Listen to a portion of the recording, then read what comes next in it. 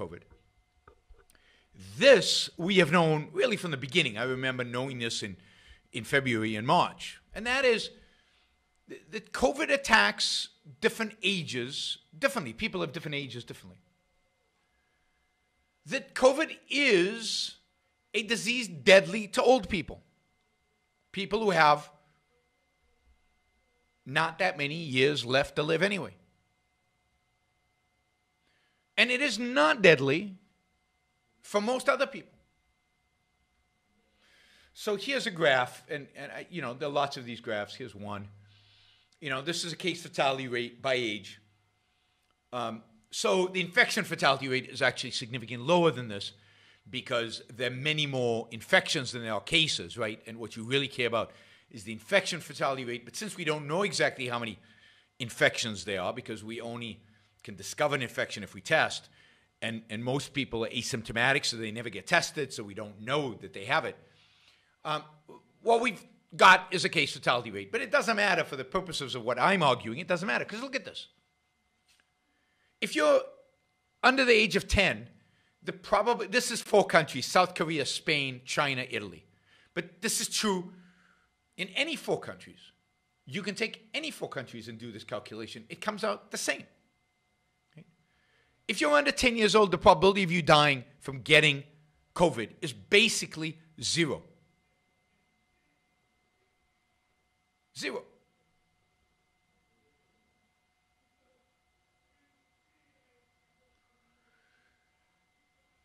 So if you are under the age of 30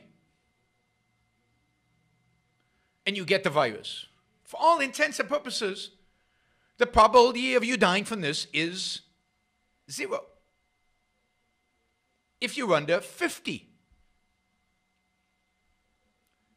it's less than 0.1% probably. It's really, really low. Again, particularly if you're very young the younger you are, the less this affects you. Yes, I know children will spread it. To whom? To their parents who are about 50. But God, can't you just tell people don't put children with old people for a year? Is it better to shut everybody down? Is it better to stop schools than to basically tell people don't see your grandparents. Don't see your grandparents. You don't stop. I mean, how has it worked stopping the spread? Hasn't worked. But you don't care about the spread. Why do you care about the spread? Why should anybody care about the spread if it spreads to those under 50 years old? You only should care about it spreading to the population really over 70 years old. Anybody under 70, why do you care if they get it? Why do you care if it spreads to them? Let the children and the teenagers and anybody under 50, 60 years old run around and spread it. Who cares?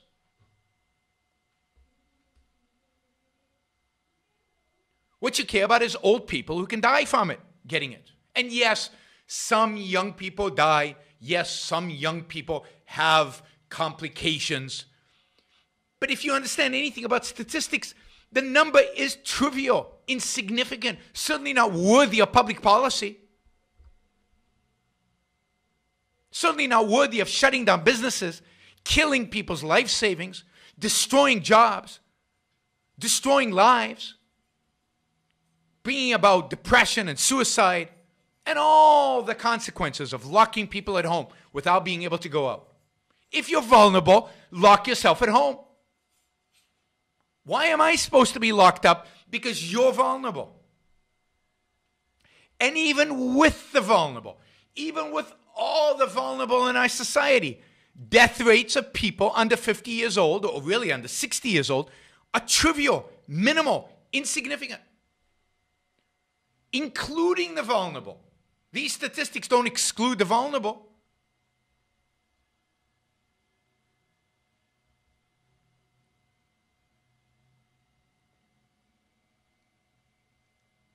So instead of actually dealing with this issue, which means isolating old people to the best of our ability. You can't do it perfectly. Some old people will die from COVID.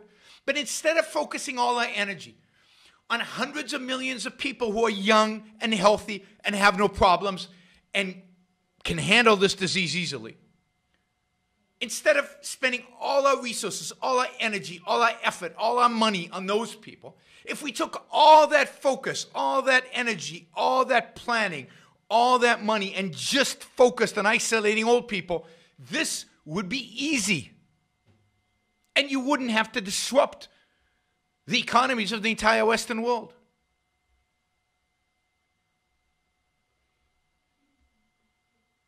And on top of that, why are we so eager to sacrifice young people for old people?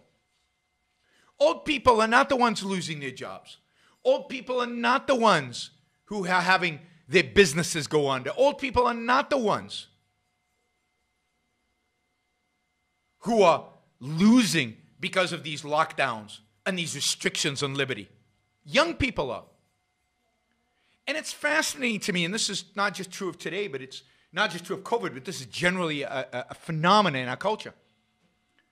We are happy and eager to sacrifice, to sacrifice young people to old people.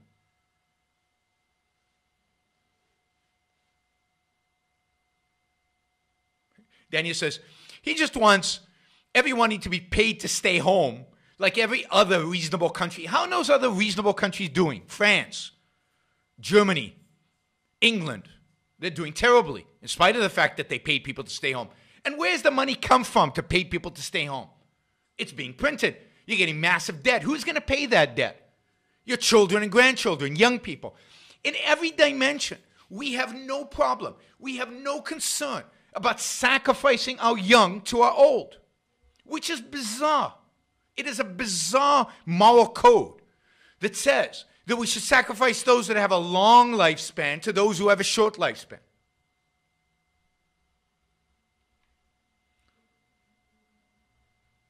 I'm in the I'm getting close to the risk group and I'm advocating for this. It is insanity and immoral, a moral travesty that we're allowing the fact that a lot of 80 year olds, a lot of 85 year olds are going to die from COVID, allowing that to be justification to destroy the lives of a lot of 20 year olds, 30 year olds, 40 year olds, and 50 year olds. How can that ever be right?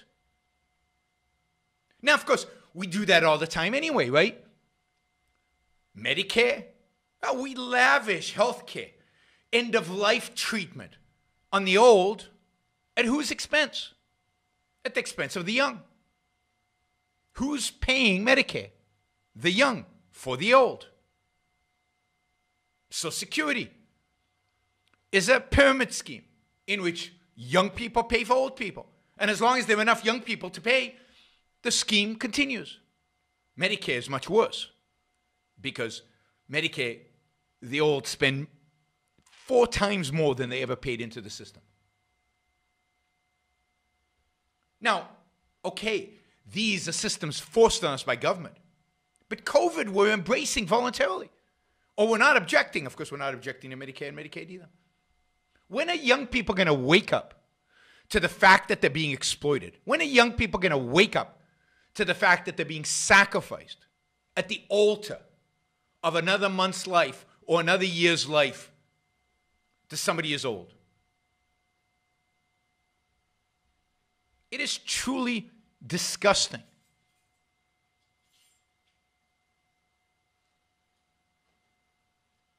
Yeah, well, uh, you know, I'm, I'm being told that I'm not using US data. So here's US data. This is US data from New York as of November 29th. But again, this would include all US data. You can just extrapolate from New York to the rest of the country. It's exactly the same. Look at what's going on. This is deaths per 100 population, in the population. Here's what happens from 0 to 17 nothing. Less than one person in 100,000 has died from COVID if they're under 17. I mean, all the way again 55. 127 people have died out of 100,000. My guess is most of the 127, if not all of them, are those with pre existing conditions. If you're basically healthy and under 55, the risk of you dying from this disease is zero or as close to zero as is meaningful in life. Why you would change your behavior, why the state would require you to change your behavior, demand that you change your behavior, and you just go, oh, okay, what the hell? And yes, I get it that we're trying to prevent infections, but you can prevent infections by other ways, by focusing on the 65 and older. And look, the real issue is 75 and older. That's where it's get to 1,712 per 100,000 in the population. That's 1.7%. Is that 1.7%? Yeah, that's 1.7%. That's a lot. That's a lot of people. That this is dangerous. All of this, that's not dangerous. I mean, maybe a little bit here. But again, if you take out pre-existing conditions, it's basically zero. I mean, if I was a benevolent dictator, right, and I'm not advocating for this, but if you had to lock people down, then you could say, if you're over 65 years old, you cannot leave your home and you cannot accept visitors, and we'll provide you with meals three times a day delivered to your home. And that would still be cheaper than what we're doing today.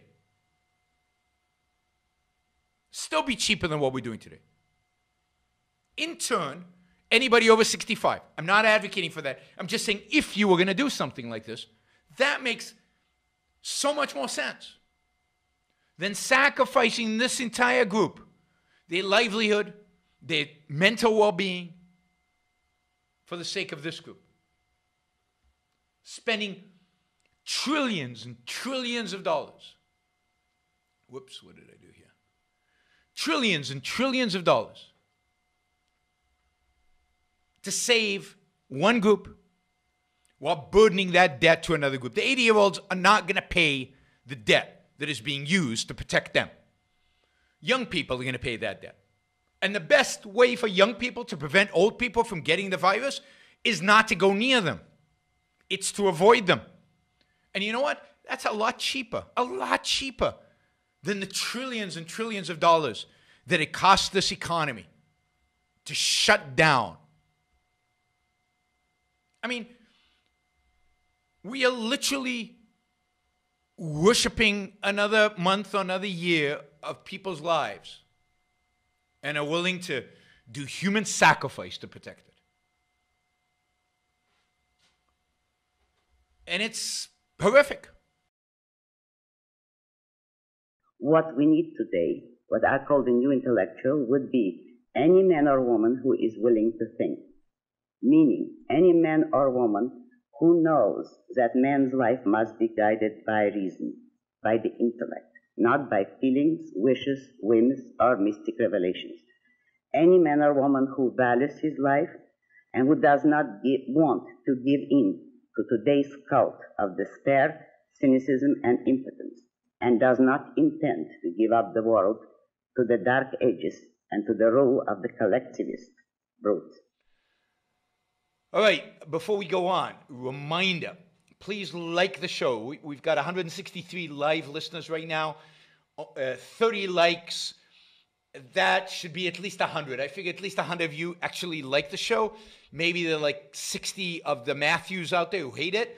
But, but at least the people who are liking it, you know, I want to see I want to see a thumbs up. There you go. Start liking it. I want to see that go to 100.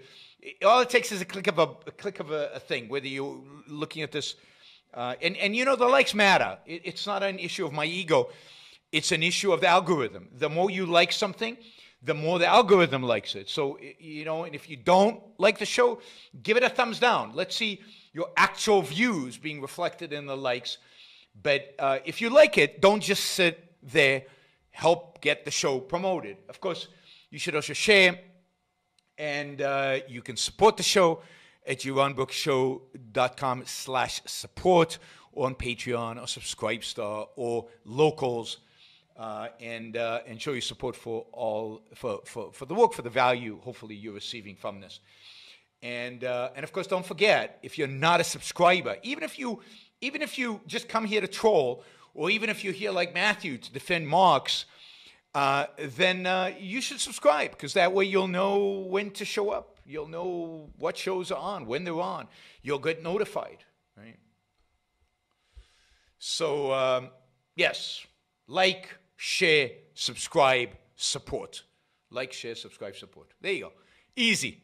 Do one or all of those, please.